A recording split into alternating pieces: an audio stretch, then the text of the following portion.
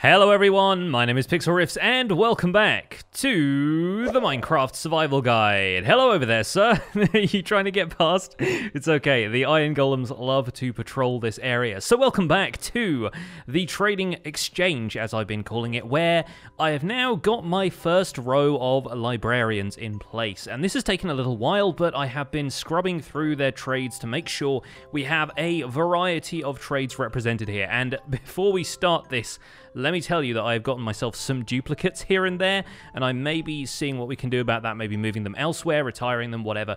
If we can maybe pare down the amount of villagers we have in here, it's going to be for the better. But first of all, we have a bunch of master librarians, some of whom have pretty decent trades. We've got this guy with Unbreaking 3 and Efficiency 4 in the same villager, even though we already had an Unbreaking 3 guy uh, is it this one? Uh, yes, Unbreaking 3. There we go. His trade has now come back up to 3 emeralds, but it was at 1 emerald again at one point, so there is a little bit of fluctuation happening here depending on how much I trade with them. Once again, we could always zombify them and cure them again if we wanted to get those trades all the way down to the lowest possible price, but here we have a few really, really exceptional villagers. We've got one that trades Silk Touch and Riptide 3. That's also pretty cool. We've got this guy with the efficiency and unbreaking. We have several who trade things like Infinity and channeling. We've got folks like multi-shot and fire protection 4 for 1 emerald. That is very, very good. And around here we have, I think, 13 villagers. I've added in a little bit more space for a few more just so we can get at least 15, maybe 20 per side, and that will definitely cover us for the amount of villagers we need to get every single enchantment at the highest possible tier from these guys. We're not going for, like, you know, impaling 3 when we could get impaling 5 from a trade or anything like that, but we are definitely on our way to getting a lot of the librarian trades over and done with. So I'm doing a lot of that stuff off camera or on live streams, but the main thing I really want to focus on today is this, this whole area, because right now we are looking at a netherrack barrier, which I have been just hopping in and out of to get in and out of the trading hall here, mainly as a protection from anything that might wander in from the outside, from pillagers, from zombies, that kind of thing. I really want to make sure they don't end up inside the trading hall. And it's probably time to formalize what I actually want to have in the front here, a door. We want to have a 3x3 piston door. We could go bigger, we could go smaller, but I think 3x3 is pretty good for a first real piston door project. And I need to preface this video really by saying I am not a redstone expert. I'm not a door building guy, but I think I've come up with a sort of decent design for somebody who is not really trying to follow the most efficient tutorials out there. I'm not trying to copy anybody else's work. I really wanted to have a go at this myself and see what I could do if I came up with a door design on my own. And ultimately, I've come up with one that I really quite like, and I'm going to share with you guys today so that you can build it in your own worlds if you want to. And if you're interested in more piston door designs, if you're interested to see exactly how compact you can make something, how efficient you can make something, or quite how crazy piston doors can become, then of course there are a ton of talented piston door makers out there on YouTube. Obviously, there are a few that are more well known, like Mumbo Jumbo, but just do a little bit of research for yourself and find some door designs you like if you like the one that I'm going to show you today. But without further ado, we're going to step out of the survival guide world for a second and we are going to go into my creative test world because if there's one piece of advice I have for you, it's to test your redstone in a creative world first because it's so much easier to troubleshoot troubleshoot redstone and figure out solutions to problems you're having in your survival world if you get the opportunity to fly around and, and test stuff out and just work with trial and error. It'll all happen a lot faster if you can just break and replace blocks instantly. There's so much cool stuff you can do in creative mode, which you can then copy over to your survival world once you have the blueprint for it. And I find this process a lot easier if I can just doodle a little bit of stuff in creative first. I think it's important to take down some of the parameters of the project first, of course, like exactly how much space you have available for your redstone design to take up, or if you just have free reign and you can make this as big or as small as you want to. In this case, I have a one block wide piston door here, which I think is actually pretty great, uh, for my first effort at least. Like I said, there are going to be people who are much better at this than I am, but I think this is not bad for a first try. All you need to do is walk up here, tap this note block, and all of the blocks around the outside will retract, leaving just the bare minimum of this glass pane in the middle here, and then close it like so from the other side. And each of these note blocks performs the same open, opening and closing action. You can hit them as many times as you like to open or close it from either side and it works pretty well. This design is called an Etho door, by the way, or a kind of adaptation of one, I suppose. Etho, back in the day, used to make doors which didn't have a central block here because it wasn't really possible for mobs to get through. zombies and skeletons and stuff would not be able to get through this middle block here, and it meant that if you uh, had all of the blocks around here retract like so, you didn't have to worry about filling in this central block using, say, a piston double extender, which used to be a lot more complicated to build. It is much more easy to make them now. We have stuff like observers in the game, but even so, I think this is probably a good start, and having a glass pane in there means that stuff like baby zombies can't walk in, for example. And the cool thing about the glass pane, of course, is that once all of the blocks disappear from the outside, it detaches itself from anything else, and the hitbox here is actually really thin. It doesn't really look like anything is there except for the top and bottom textures of the glass pane, meaning you can just kind of ignore it as you walk through the door, and then close it on the opposite side, and this becomes a solid structure that nothing can pass through. You can, of course, do the same thing with stuff like iron bars. You can do the same thing with any of the walls that are present in the game, and you don't need to use iron blocks for the surround here. All of these blocks are basically here for decoration. We could make this entire thing out of dark oak wood with a dark oak fence in the middle if we wanted to, just for, I don't know, the uh, sleekness of it all. But I actually like the way it looks if you have something that stands out a little bit more for the blocks here in the door. And yeah, it, it can pair together with these materials quite well. So without further ado, I'm going to show you how to build this here in creative mode first, actually. I figured it would probably be a good idea to show you it in creative mode just so you get an idea of the materials required for this door and exactly how it gets put together. But then we're going to go back into the survival guide world. We're going to build it as part of the trading exchange. We're going to have that at both of the two main entrances and you'll get to see it in the context of the survival build we've been working on for the last little while.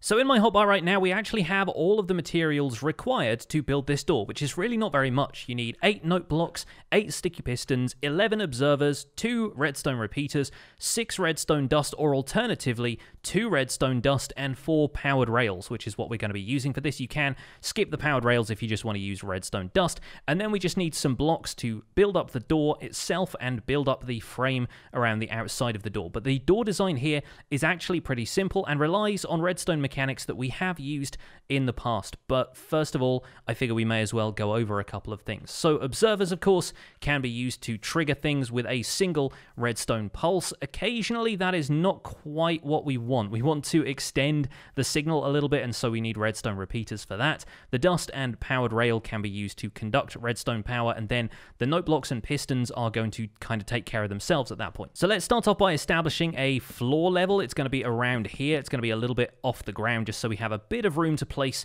some redstone down here. We want the entry note block here. This is the one that we're going to be punching in order to open the door in the first place. Behind that here, we want to have a piston facing upwards like that with a block on top of it like so.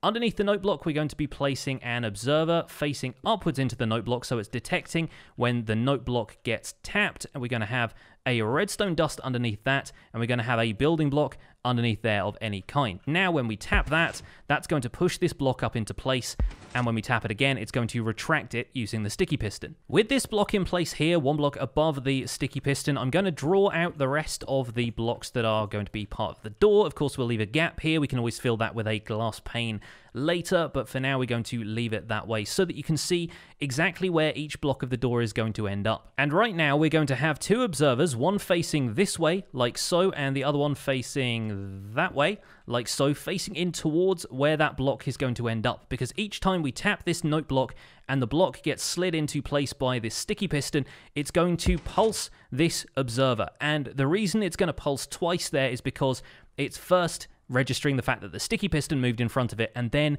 it's registering the fact that this block moved down in front of it. So the reason we have a redstone repeater here is so we can actually lengthen the signal a little bit. On each side, we're going to build two blocks out here and then one block downwards at a diagonal like so. We'll do the same on this side here like that. And on these, we're going to be placing a redstone repeater set to two ticks, and then we can either put two redstone dust, or in the case of this one, I'm going to put two powered rail. We'll do exactly the same on the opposite side here, set that to two ticks and have two powered rail there. This is basically a symmetrical design, except one side doesn't have to wrap around to the top uh, but the other side does. From here, what we want to do is have an observer facing downwards into that rail here, and we want to build up a tower of alternating observers and note blocks like so. Attached to that, we're going to be placing the three sticky pistons that are going to be retracting this block, that block, and that block. So we want one there, one there, and one there. The mistake I always make when I'm building stuff like this is to place the sticky pistons against the blocks that they're supposed to be pulling outwards. Like I always start with the sticky pistons there. So uh, you want to make sure that they have an air block gap there so that they can retract these blocks in a minute. Now to carry the signal around to this top block so that that can be retracted as well, we need another note block on top of here. We want an observer, note block, observer, and then finally a sticky piston facing downwards into that block there. So that's also going to be retracted slightly after some of these blocks on the side here. Let's give that a quick test. It's slightly out of order right now because I've got this block in place. Let's see if we can do something about that. Now we're going to do exactly the same thing on the opposite side, an observer facing down into this powered rail, a note block, another observer, another note block, and then attach the three sticky pistons to the side of those top three blocks like that. Now, when I thump this note block, it retracts all of the blocks in sequence like so. Both sides kind of activate at the same time thanks to the symmetrical circuit we have going on here. And finally, that top block gets taken out as well. Now all we need to do is add in the glass pane into the center here, which I can do once the door is closed, like so. And now we can just seal the whole thing up with dark oak planks around the outside, making sure the mechanism is concealed here. To make sure that we can activate the door from the other side, we just need another note block there, another observer facing upwards into that note block, and another piece of redstone dust on the opposite side there, and now the mechanism can be activated from both sides. And it should be simple enough to dress up the rest of this entrance so that the redstone components here are concealed and we don't have to worry about seeing them from the outside. One small thing is that when we open the door, we do see two gaps up here, which we can always fill in with blocks like that because that's not going to be pushed around by any of these components or interfere with the redstone signal to those components either. So that's going to make sure the door looks completely sealed and flush with the woodwork around it when we go through it and you're not going to be able to see up into the mechanism there. Of course, now this is in place and the redstone mechanism is out of the way, we can always add a couple more details and finishing touches to this to make the doorway look like a bit more of an arch using slabs or stairs or something like that. But overall, I think this is quite a neat design. It's relatively compact, not the most compact door design you've ever seen, but still only one wide and pretty easy to build in survival. Uh, should have a relatively short equipment list, so all we need to do now is head back to the survival guide world and make it for ourselves. Hey folks, welcome back. So here we are at the entrance to the trading hall, and this right here is where we're going to be placing our 3x3 door. I think what I'm going to do is make the surrounding out of stone bricks like I have for the rest of the trading hall, but the central door here is going to be made out of dark oak wood. I think it's a nice contrast, and oops, there we go. We can take that one out there, and this is the setup for the door. We have two blocks over the top there just to make it look like that is completely flush with the outside when all of the blocks get retracted. That's going to be the center of our door, and I think, hopefully, this should be nice and easy to build right here in survival. So we'll take out the rest of the netherrack on either side, like so, and we need to start digging into the ground right here. We want the uh, note block to be there, and we want another one on this side as well. That's going to blend in quite well with the wood floor, I think. And I've got double the ingredients that I had in creative mode simply because I'm building this twice. So I'm going to be building it on the opposite side over there, on the opposite side of the tree as well. Let's have a note block there, a note block there, and the first of our blocks is going to go there, but we'll need to dig down here, take a couple of blocks out, and place the sticky piston down here, like so. The dark oak plank is going to go on top of that. We'll take out these two blocks either side, and we'll have an observer facing that way and that way. Need to dig down underneath these so that we can place the observers facing upwards into these note blocks. We've of course got a block underneath the sticky piston there already, so we'll just need one redstone dust there and one on the opposite side. Place the observer underneath there, place the redstone dust right there, and that's everything for this part of the door good to go. If we punch that, yep, there we go. It slides up into place perfectly. Great stuff. Got to place that observer again, though, because that was at a weird angle. No worries. So from here, of course, we need to have our powered rails going down into the floor. We need the repeater over the top of it set to two ticks, like so, and we'll do the same on the opposite side here. There we go. That's the next stage. Let's give that a punch. Yep, powered rail lights up perfectly. That's very good. Now, each of the pillars either side here need to be made up of observers and note blocks alternating like so. We'll need to pillar up a little bit to take care of this next one. Observer there, note block there, and then this can come over like so. This is actually going to fit perfectly in the door frame I have here, which is very, very good. Alternating those around the outside until we get to the sticky piston facing downwards here with a block on top of that. Now let's see if that works. Yep, okay, perfect. And now we need to add the sticky pistons on the sides here, here, and here, which are going to be retracting these three blocks of the door like so. Take care of that one. There we go.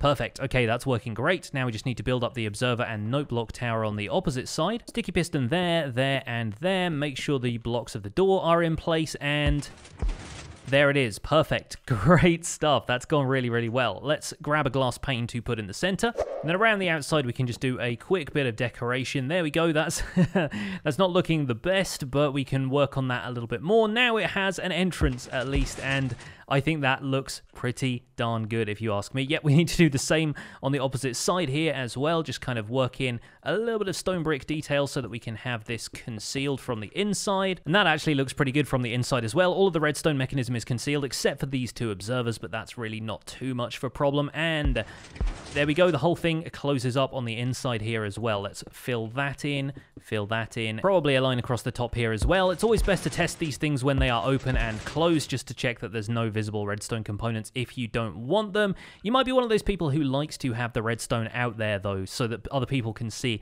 exactly how your work is done. But personally, I love these designs where everything can be flush with the wall and it all seems a little bit like magic, right? I am really, really happy with that. I think that's super great. Let's go ahead and build one on the opposite side. And the last door is in place. The iron golems have turned up to inspect it, and I need to take care of that piece of gravel right there. And let's see if that works. Perfect. Okay, great. Let's throw in the glass pane there as well. Everything about this door seems to be working great.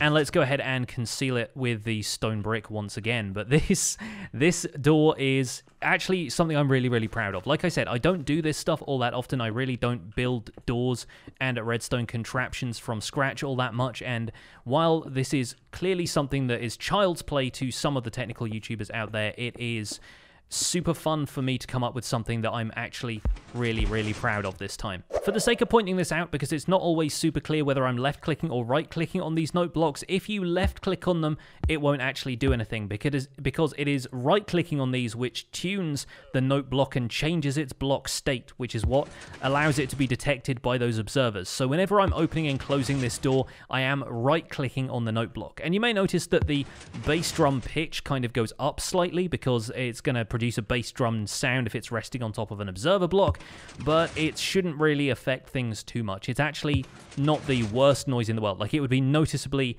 obvious if it was like rising in pitch on a piano or a banjo or a glockenspiel kind of sound effect. But the fact that it's a bass drum gives it that nice percussive sound and allows it to kind of fit in with the mechanism of the door a little bit better. So I'm super happy with those. I really like the fact that we've got a decent door for this now, and I'm super happy we're able to get a piston door into the survival guide somewhere because, as I said, not all that used to building these things, but hopefully there might be a few more design designs like this coming up in future. Thank you so much for watching this episode of the Minecraft Survival Guide. My name has been Pixlriffs. Don't forget to leave a like on this episode if you enjoyed it, subscribe if you want to see more, and I'll see you guys soon. Take care. Bye for now.